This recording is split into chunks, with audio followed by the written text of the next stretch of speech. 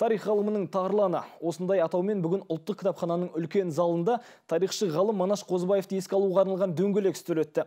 Профессордың шығармашылығы мен еңбегі жолын дәріптеген жиында кітап көрмесі де ұйымдастырылды. Қазақстандық тарих ғылымының көрнекті өкілдерінің бірі, отандық білімнің ірі ұйымдастырушысы саналатын Манаш Қабашұлы тәуелсіз ел тарихы туралы тың деректерді қалдырған. Ол 800-ден астам ғылыми жұмыс пен 30 монографияның авторы. Одан бөлек елуге тарта ұжымдық жұмысы мен оқу әдістемелік құралдары да аса ірі көлемдегі зерттеу еңбегі болып саналады. Манаш Қабашұлының артында өлмес, өшпес мұра қалды. Бұл мұраны игеру бүгінгі жас ұрпақтың басты парыздарының бірі.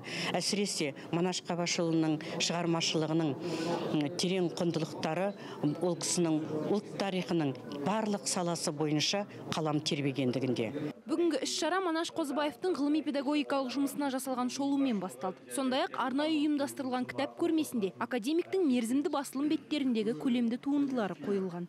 Манаш Қабашұлы мені ғылым жолына жетелеген ұстаз болды. Ғалым ұстаз ретінде ол кісі былай қатал болды. Адамға талап қоя білді. Өзі болмысында адам тани білетін адам еді. Айта кету керек, ұлттық кітапхана қорында Манаш Қозыбаевтың өмірі мен шығармашылығы туралы 2000-ға жуық басылым сақталған. Сондай-ақ автордың монографиялары мен ғылыми еңбектері де осында. Мадина Оқас, Ялкын Жанашымжанов, Алматы телеарнасы.